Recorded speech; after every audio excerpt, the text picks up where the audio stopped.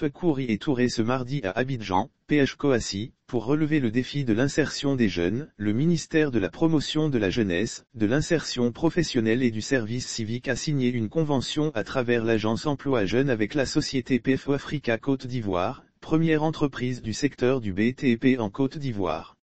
À travers ce partenariat, l'agence emploi jeunes s'engage à apporter à PFO Africa Côte d'Ivoire un appui technique pour la formation et le recrutement de personnel.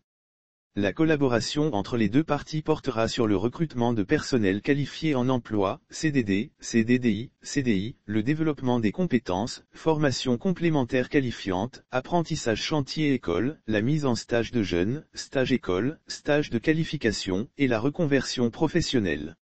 Le ministère s'engage à apporter à PFO Africa Côte d'Ivoire un appui technique pour la formation et le recrutement de personnel, spécifiquement pour des contrats de travail, à durée déterminée barre oblique indéterminée, de communiquer sur les offres d'emploi et de stage de PFO Africa Côte d'Ivoire de répondre dans les meilleurs délais aux besoins exprimés par PFO Africa Côte d'Ivoire en termes de ressources humaines, en lui mettant à disposition une main-d'œuvre qualifiée et répondant aux critères défini par PFO Africa Côte d'Ivoire, à travers ses structures sous tutelle dédiées, etc. PFO Africa Côte d'Ivoire s'engage à recruter dans la mesure du possible les profils présélectionnés et proposés par le ministère, contribuer dans la mesure du possible au financement de certains programmes d'insertion identifiés et validés en collaboration avec le ministère, etc. Cette convention cadre de partenariat contribuera à consolider la synergie déjà existante entre les dispositifs publics et privés d'encadrement des jeunes et améliorera l'employabilité et l'insertion professionnelle des jeunes. Cliquez pour agrandir l'image Mamadou Touré a réaffirmé la volonté de l'État d'offrir des opportunités d'emploi à la jeunesse.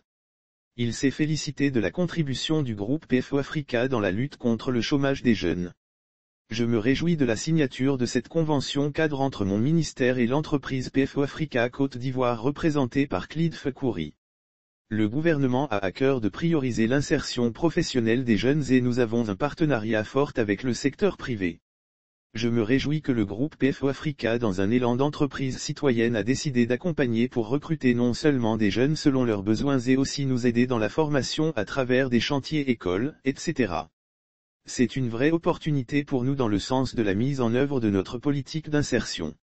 159 jeunes, ce n'est que la phase qui a commencé, selon la stratégie de développement de l'entreprise qui a beaucoup de chantiers aujourd'hui, l'accord prévoit que l'agence emploi jeunes essaie de mobiliser toutes les compétences nécessaires aux activités de cette entreprise et de les mettre à disposition. C'est une convention qui va ouvrir des perspectives à des milliers de jeunes en fonction des activités de PFO, a déclaré Mamadou Touré.